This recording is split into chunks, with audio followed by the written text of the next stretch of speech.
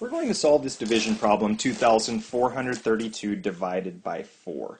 Now the way that we start is we say, can we break 2000s evenly into four groups? So let's say that these two represent the 2000s. Can we take those and put them evenly into four groups down here?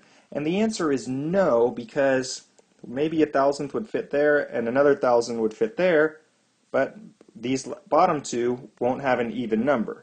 So what we need to do then is we aren't going to try to fit two thousands into four groups.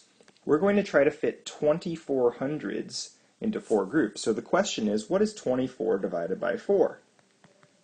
And the answer is 6.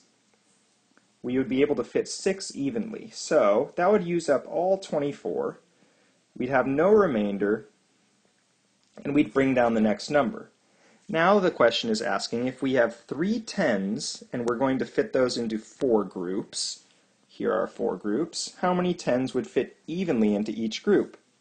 One, two, and you could see we'd still have this one without any, which means that we cannot put any tens into these groups because in order for us to divide, every group needs to have an even amount. And since this last one with the question mark would not have any, we cannot divide. So that means that zero tens can go into each group.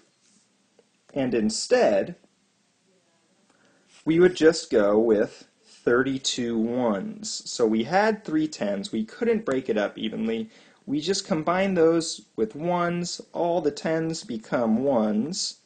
And now we're splitting up 32 ones into four groups. Well, 32 ones split evenly into four groups would result with 8 in each group. You can see we're going to end up using 0 there. And then we'd have 32 ones. When we split those evenly into four groups, there would be 8 in each group, and all 32 would be used giving us an answer of 608.